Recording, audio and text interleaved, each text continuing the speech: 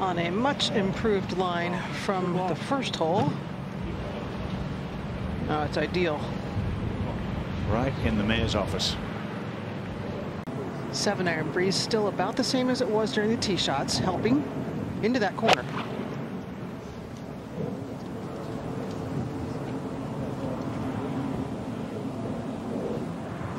It may have been the right length had it been straight, Dottie, but it's found the right bunker. But Keith volunteered to do it during the middle of the week. It Was going to do it on Saturday at 18. Of course, then never got to 18. So we go back to the second. Awesome shot there for Rose. But just a tap in to tie the lead. Right foot slipped. Trevor, he has barely these little nubs That's on right. these shoes, and they are so flat.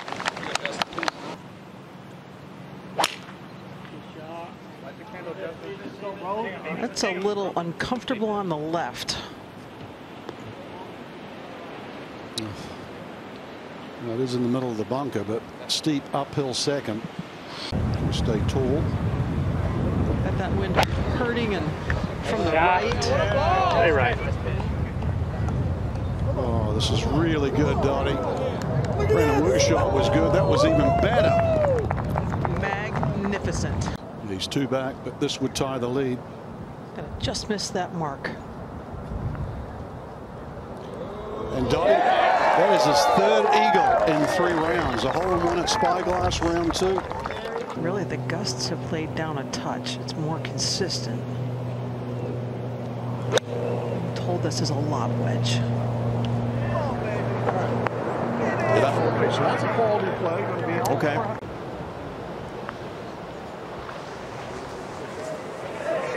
Going. There you go. Eagle birdie at six and seven for Rose. And he jumps out into the lead at 15 under.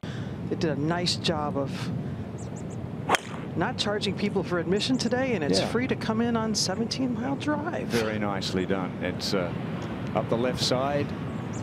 Oh, it's a great angle in, but it might have just found the, the rough on the left. 114 playing closer to 122 or 3. Down, down.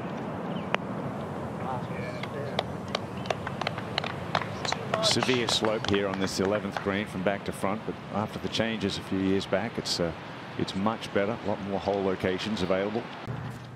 Now, Rose has had a good chance to see that line. He was all over that. Ian walked in as soon as Peter hit his. Yes, and Rose makes three at the 11th. He goes to 16 under and a two-shot lead.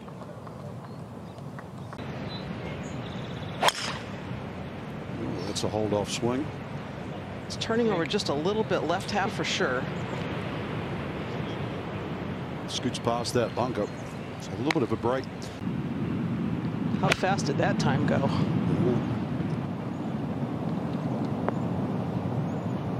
He hasn't forgotten what he has to do, Dottie. No, you don't forget how to compete. It's a good shot. Every now and again they just fall in and not trying necessarily to make it. That tends to be how he hits putts too. And another one.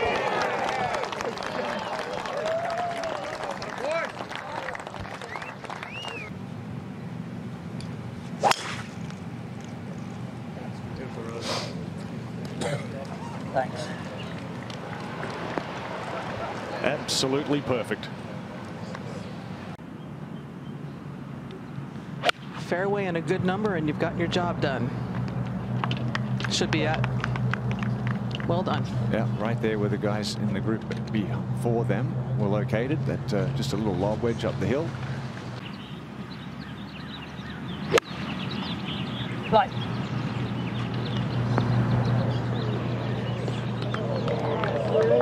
All right, that's the same putt that Keith Mitchell had.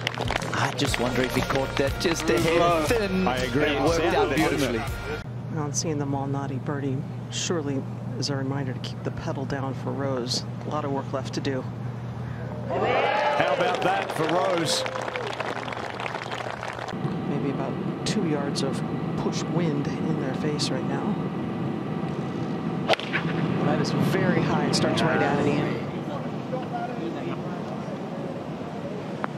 Great shot for Rose. Tidy and powerful. It's been all about this one today, though. Just a nice, gentle little feed down the hill. And it'll be a three. And head to the last three in front.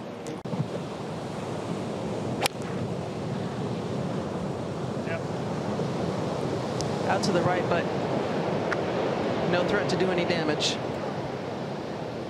Think you think it'll be loud out there? Oh my goodness. new new all-time decibel record as Rose lays up. All he needed. Bunkers out of play. Nothing special, but a special moment. A Little left.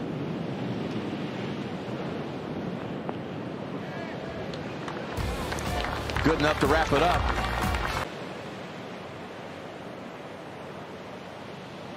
This happens. Drop it, be 65.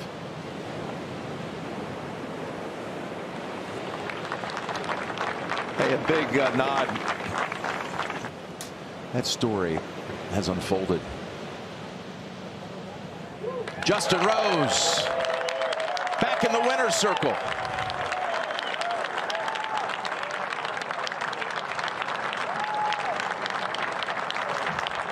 Justin, it took four years and a Monday finish, but you are officially a PGA Tour champion once again. What's the overwhelming emotion as you realize what you just accomplished for the 11th time out here?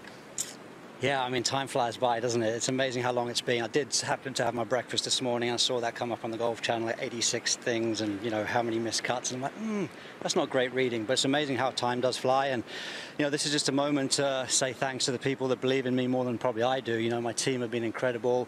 Um, obviously, my family at home, Kate, Leo, Lottie, this one's for you guys. I wish you were here, Pebble, with me. I mean, what a place to win a tournament. Um, unbelievable. But, yeah, to my squad, really, there's been a lot of people who rallied around me and um, just had an unbelievable week. Obviously, as well, my partner James Gorman as well, and uh, you know, wish he would have been side by side with me today. Obviously, unfortunately, amateurs couldn't make it, but yeah, incredible week from start to finish with so much happening in my favour. This week had a lot happening. The Monterey Peninsula threw pretty much everything it had at you in this entire field.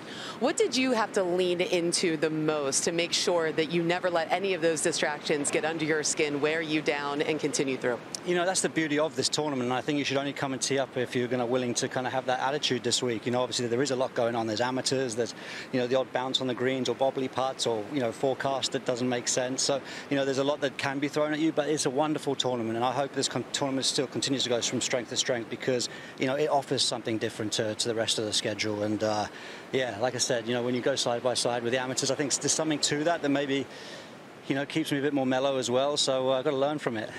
42 years old. You're just getting started this season, Justin. Congratulations. Thanks for watching the PGA Tour on YouTube. Watch another video right here.